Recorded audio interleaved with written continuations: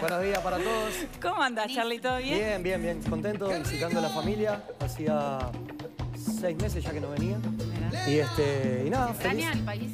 Sí, se extraña, se extraña mucho. Eh, en realidad, anoche había ido, fui con unos amigos del fútbol y yo le decía que, más allá de todo, de que gracias a Dios he trabajado muchísimo en mi país, se extrañan los amigos, se extraña la familia, se extraña el entorno de un montón de cosas que uno obviamente se acostumbra, ¿no? Pero bueno, después artísticamente estamos a años luz.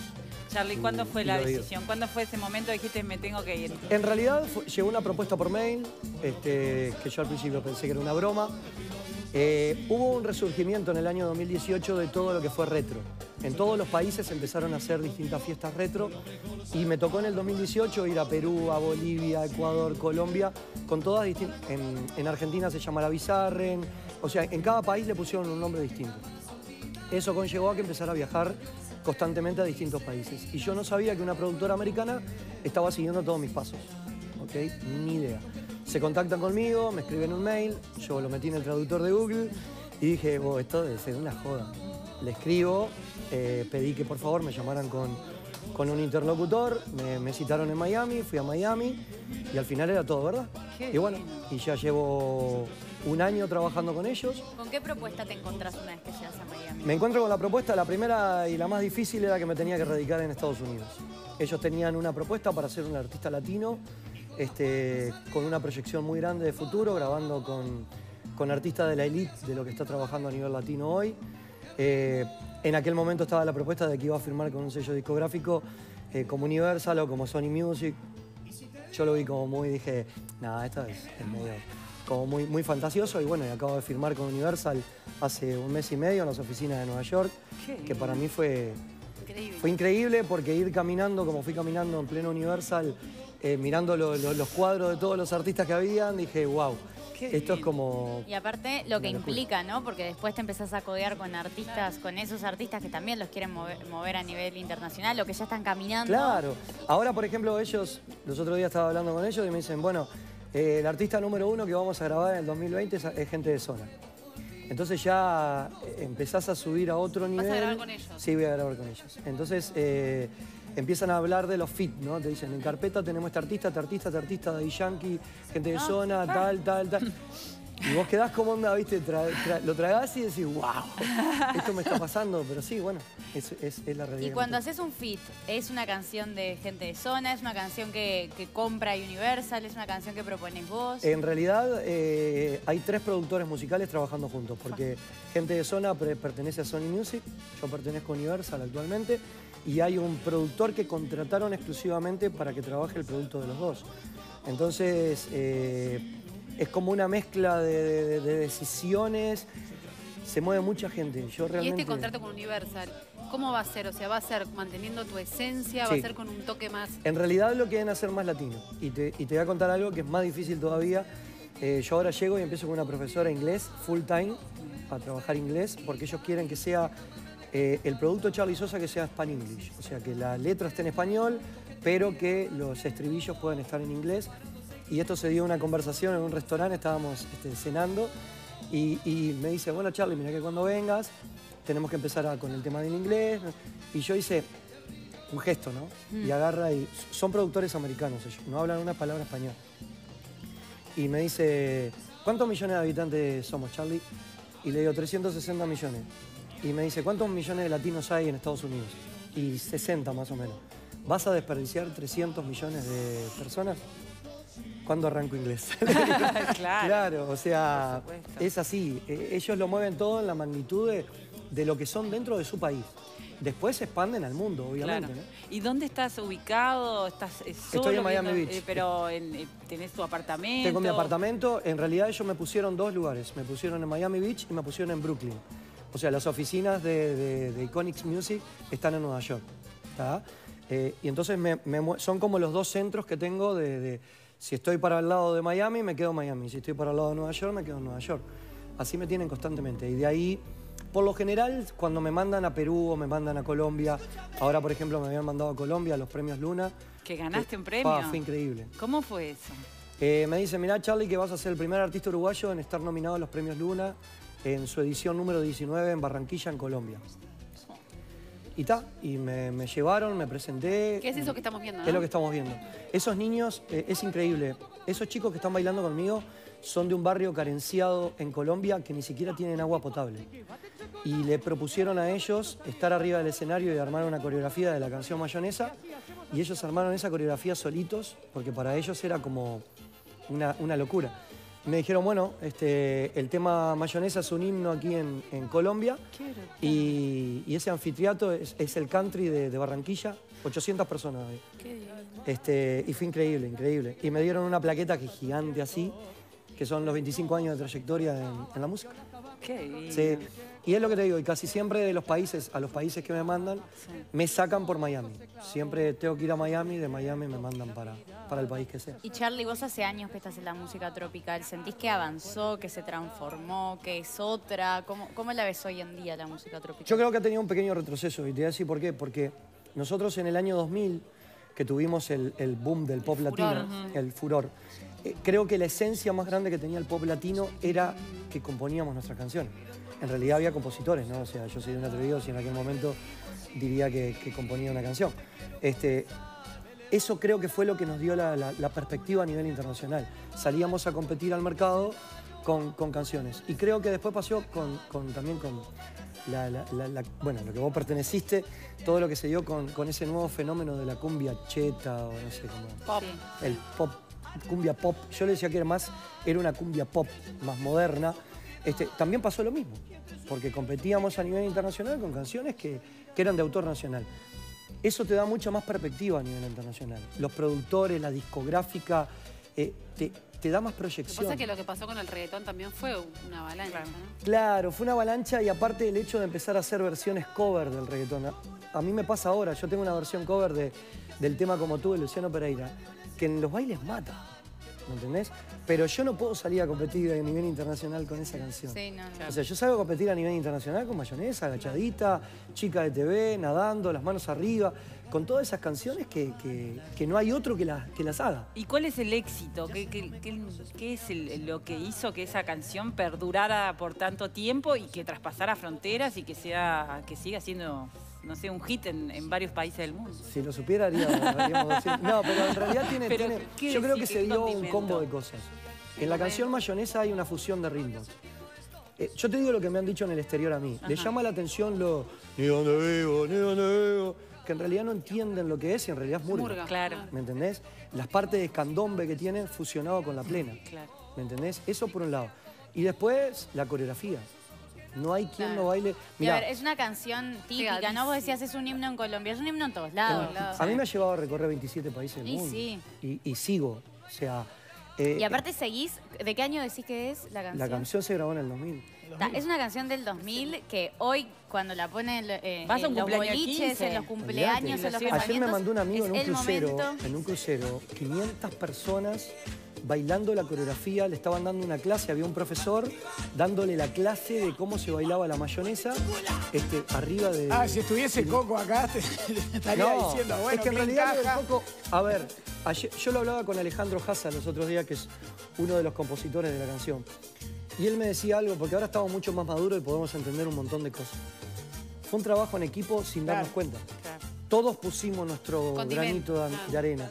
Eh, yo me acuerdo que cuando recién arrancaba la canción, y haciendo palmas hacia arriba y arriba, todos los que utilizaban ese pregón que yo grabé para alargar otras canciones. Claro. Porque la gente creía que venía mayonesa y salían a bailar. Y no, y te largaban otra canción. Pero fue una combinación de cosas. El Coco en el aporte que hizo de la coreografía fue sumamente importante. Y no, no lo voy a negar. O sea, no hay parte... Mirá, cuando nosotros estrenamos el videoclip de Mayonesa, lo estrenamos para Televisa y Fonovisa, para México. Pero se estrenó acá y se grabó acá en Uruguay. Cuando vino Maharvey, el presidente de, de- de Fonovisa, el tipo dijo, esta canción te entra por los pies y termina en los brazos, dijo el tipo. Fue la definición de él y quiso decir que la canción te entraba a través de la coreografía. Fue importante, ¿entendés? O sea, la fusión, o sea, pero tiene ese ángel que no sé, yo hasta el día de hoy no lo puedo creer porque hoy por hoy las redes sociales me, me acercan a un montón de gente que no conozco que me manda videos de China, de Tailandia, de, bueno, de un crucero ayer que está en mi Instagram. Está filmado de arriba un tipo que me dice, un chi- el chino me pone, soy el chino, Charlie, mirá. Filmando de arriba toda la gente bailando la coreografía.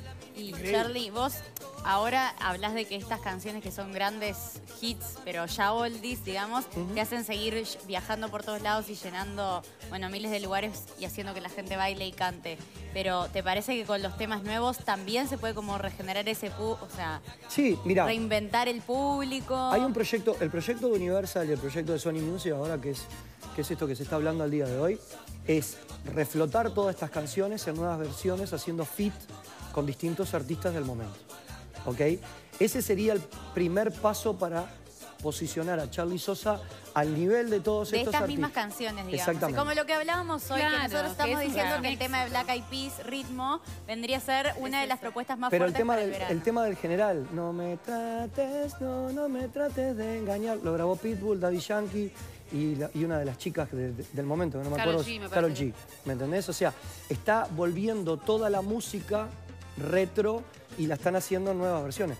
Gente de remix. zona, claro, gente de zona grabó con los del Río, la Macarena. Sí. ¿Y por qué te parece que se va a buscar al... ¿Querés que te diga lo que me dijeron a mí? Sí. Eh, hay carencia musical. Bueno. hay carencia de canciones y están tratando de que las canciones que fueron hit en aquel momento, reflotarlas para que sigan eh, avanzando en el tiempo y que sigan generando... Gente. Y aparte Claro. la mayoría de las versiones como la Macarena, que es la que vos hablás, se empezó a escuchar como si fuese una canción totalmente Y nueva, claro. años con la Macarena. No, sí. olvídate. mil años. Y aparte la reproducción. ¿Qué pasa?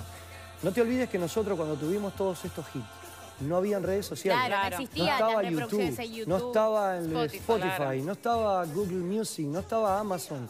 Entonces, ¿qué pasa? Son canciones que sí generaron, pero que no generaron al alcance de lo que podrían generar al día de hoy.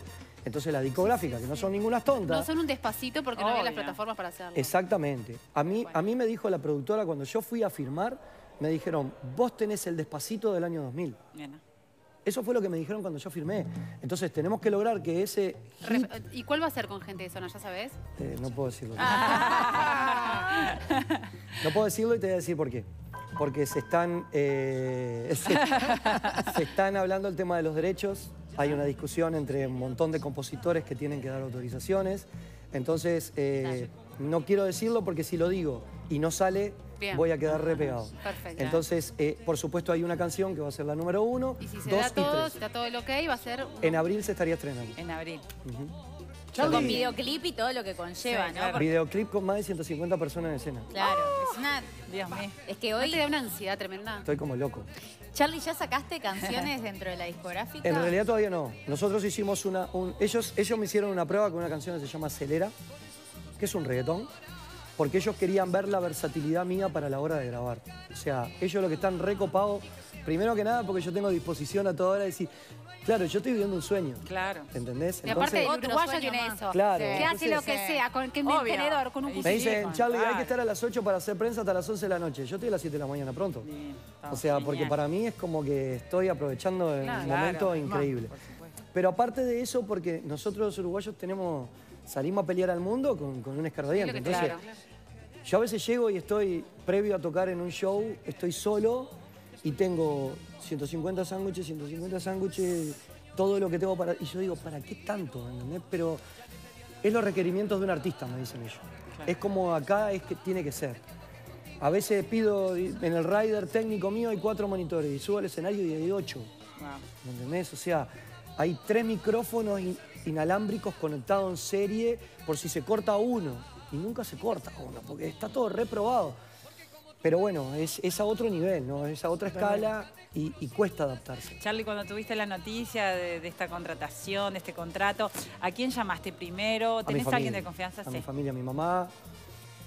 Fue muy difícil la decisión por los niños, por, por los hijos. Eh, el hecho de irse, uno se pierde un montón de cosas.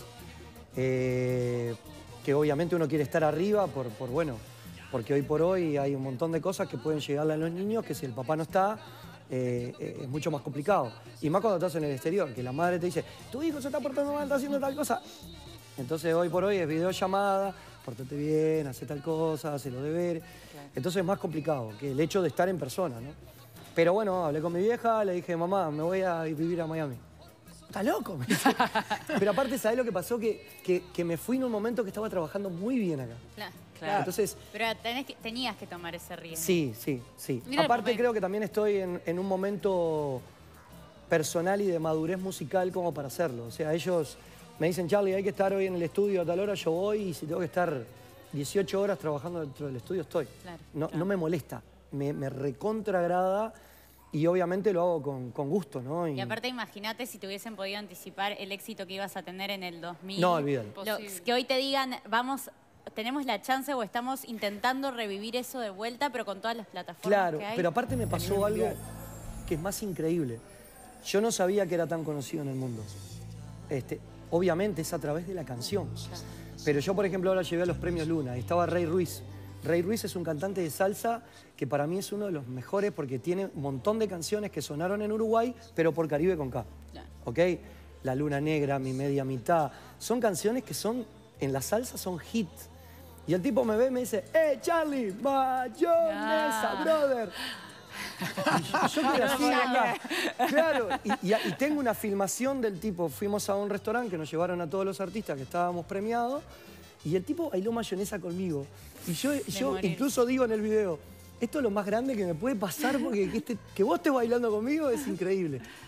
Y, y yo no, no, no, no me doy cuenta de eso.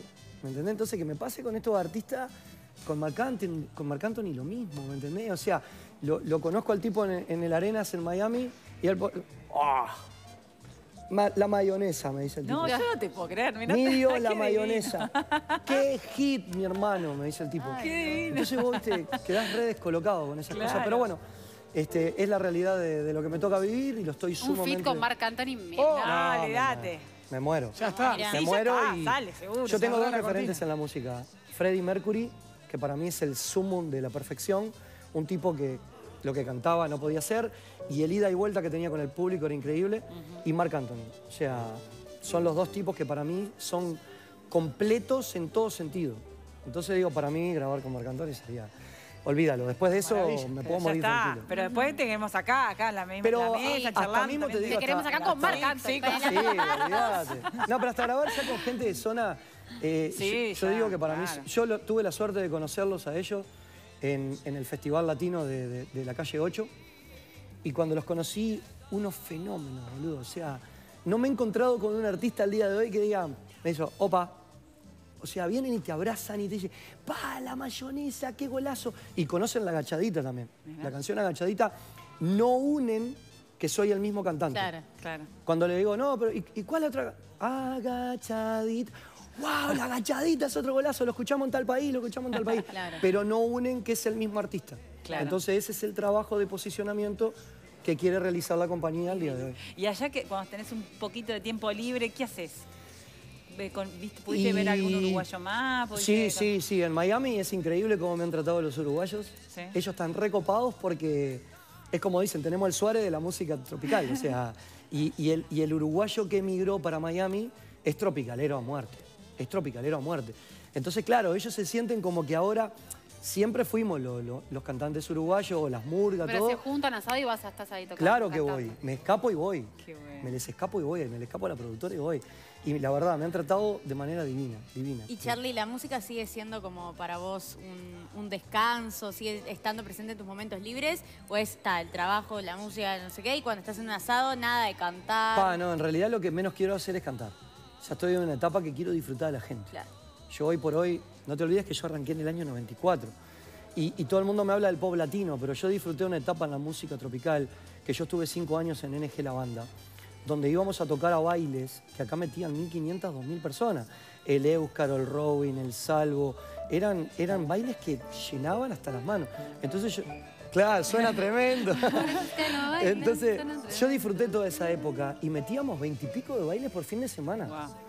Yo le cuento a todo el mundo que Canelones, San Ramón, San Jacinto, San Gregorio, San... O sea, todos los Todo lo santos los santos. tenían un baile Sí, sí, sí. y llenaban, ¿me entendés? O sea, habían empresarios como el Coco Bentancur, como el Cheche Barreto, que ellos ar- armaban, ponían todo alrededor así como unas lonas y en el medio de un campo armaban un baile. Sí, sí, sí.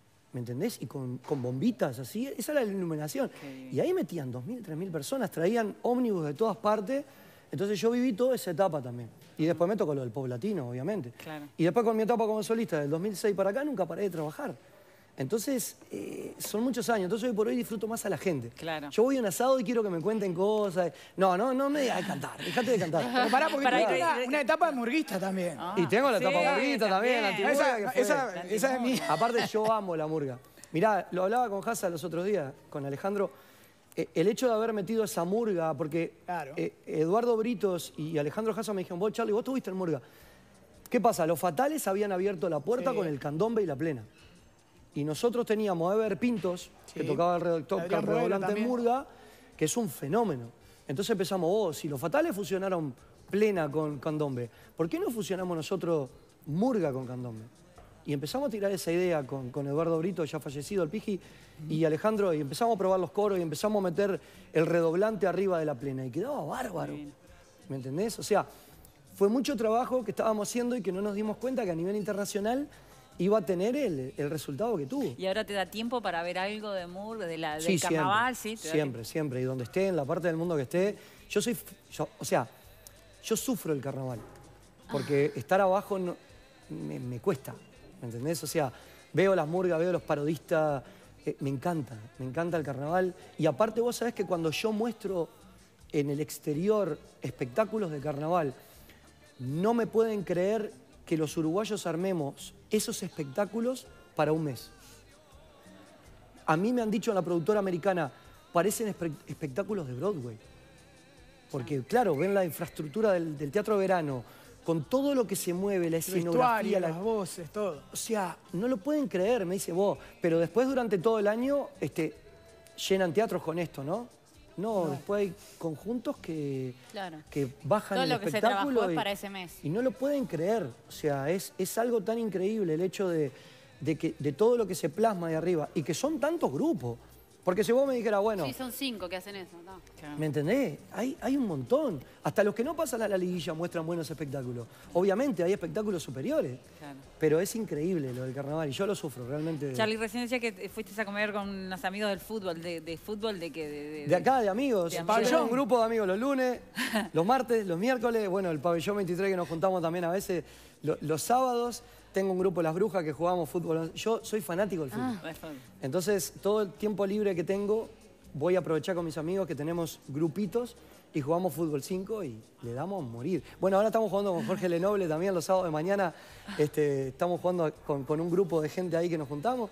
Así que siempre, siempre trato. Y, y este mes que vine, los disfruté a todos. Claro. Disfruté a todo el mundo porque realmente no sé cuándo vuelvo a venir ahora. Charlie, ¿cuándo es que tenés que regresar? Mirá, ¿Tenés fecha ya? Están, están tan despegados los americanos. Yo firmé un contrato con ellos por tres años. Todo este primer año conllevó mi adaptación y todo el papeleo. O sea, yo vine aquí a Uruguay a que me estamparan mi visa de trabajo en el pasaporte.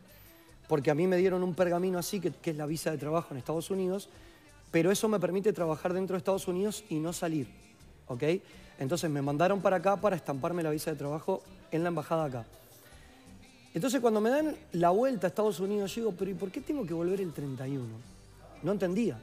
Entonces el interlocutor que tengo me dice, Charlie, ellos están tan agradecidos contigo, están tan conformes con tu forma de trabajar, que el 31 te van a rescindir el contrato y te lo van a firmar de vuelta el primero para que arranquen los tres años de nuevo.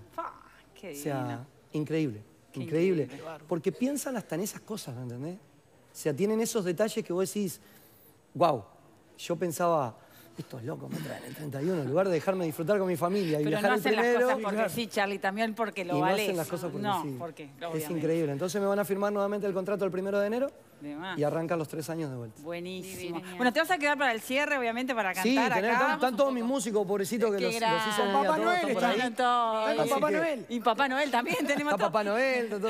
Te vas a quedar al cierre, pero antes te queremos pedir el brindis. ¿A quién se ¿Cómo lo no? dedicamos? ¿O ¿A quiénes se lo dedicamos? A la familia. Divina. Salud, Muchísimas éxito, gracias. así sea, Felicidades para todos. Feliz Navidad. Salud. Te damos un aplauso, pero te quedás. Así que después de la pausa, Charlie Sosa, aquí en el cierre de Desayunos Informales. Volvemos.